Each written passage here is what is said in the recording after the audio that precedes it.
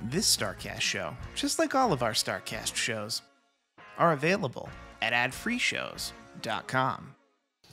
So you mentioned Philadelphia, and obviously the energy of the fans defined ECW and made stars. It made you, Rob, during a time period where you were kind of like Sabu's guy, but you weren't being pushed, and the fans kind of demanded that. And then we come to the night in Asbury Park, New Jersey, at Living Dangerously, where you guys are wrestling for the television title. Goes to a 20-minute draw. The referee, I think it was John Finnegan, says, "No, we're going to restart it and continue on." And the crowd, over the course of this, starts chanting, "New effing show." Obviously, you're the whole effing show, and it changes Jerry's whole career forever, and gives you a different dimension.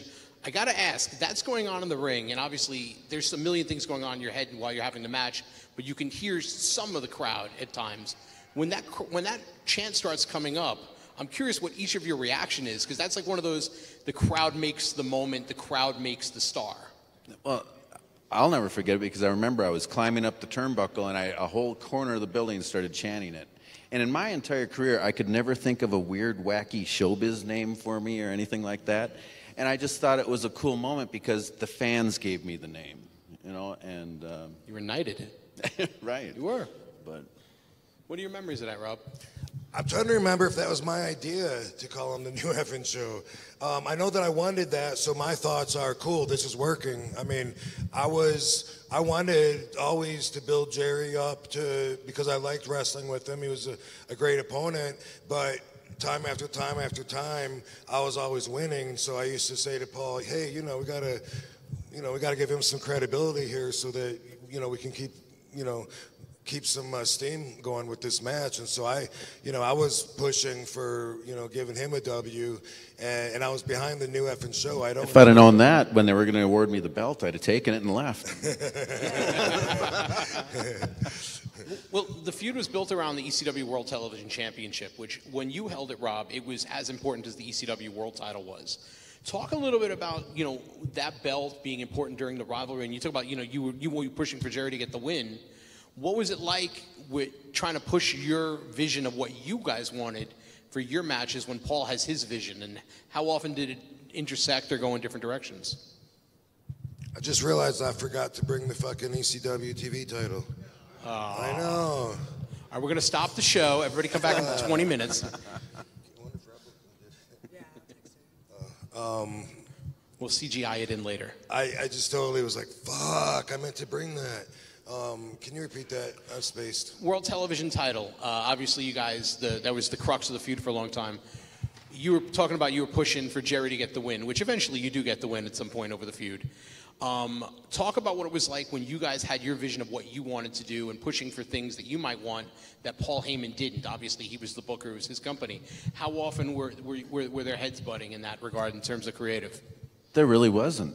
Paula just gave us so much freedom. We were able to go out there and do what we wanted. I think the only one time we had the match at the the arena in Philly, and that's when I had the ribs taped, and we were supposed to wrestle, but they did the gimmick where the Impact players jumped me, and I was sent to the hospital. So you wrestled. I forget it was Lance or Justin, and then. Uh, they started dummying you. I hit the ring to help and blah, blah, blah. And as I'm leaving, you challenged me and said, The people came here to see an RVD match. You said, come, Cool. Yeah, and you said, Come on in here and uh, let me kick your ass. so I was like, Okay. you know? But that night, when I went back to the ring and we were wrestling, the crowd just was, un- they just came unglued for everything. And uh, we did a spot in the match. It- we didn't move the table, we didn't touch a table, and it was just an impromptu clothesline off the apron through the table, so it was a complete surprise. And they were carting me off, and I stopped, I shoved them all off, and I came back and we finished. And after that, they were blowing the roof off the place. And I- I'll never forget, after one of the false finishes, uh, we're laying there right next to each other, and, and you said, uh, effing awesome. And I said, we got him. And I'll never forget that night. To, to me, that was one of my favorite matches with you just because of how we had the fans like this. And it was just an amazing moment. It's like one of those, it's the drug of the business. On nights like that, you cannot get to sleep till five, six in the morning. Yeah, definitely uh, fun times. I don't remember butting heads with Paul too often. He was very encouraging in the right ways, and if there was something he didn't think was a good idea, you know, then then he would like he would let you know I, don't think that's a good idea, and he would you know, you know, eh, you don't need to do this, you know, like he would, but he would there was never you know like, no, Paul, I'm not, I don't like the way that you said it. I believe otherwise. I don't. I mean, it might have happened, but if it was, it was not often at all.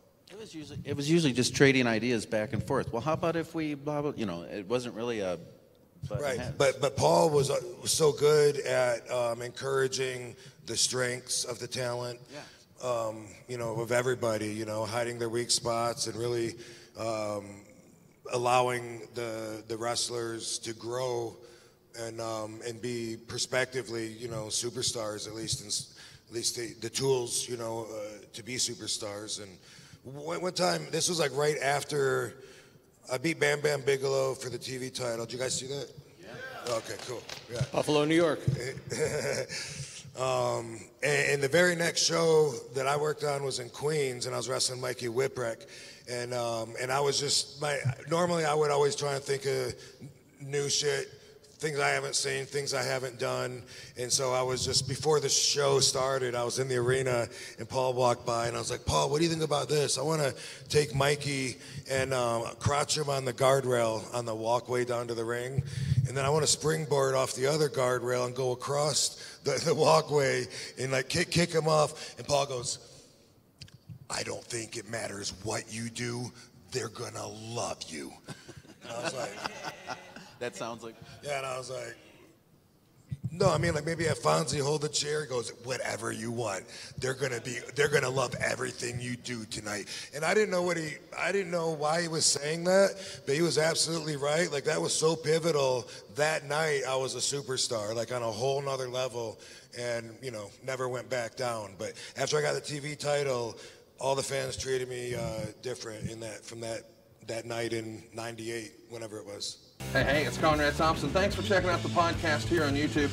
Be sure to hit the subscribe button and the notifications bell so you get a notice anytime we upload some new content. And go save yourself some money right now. If you're in a 30-year loan or you have credit card debt, it's not a matter of if I can save you money. It's a matter of how much. Find out right now for free at SaveWithConrad.com.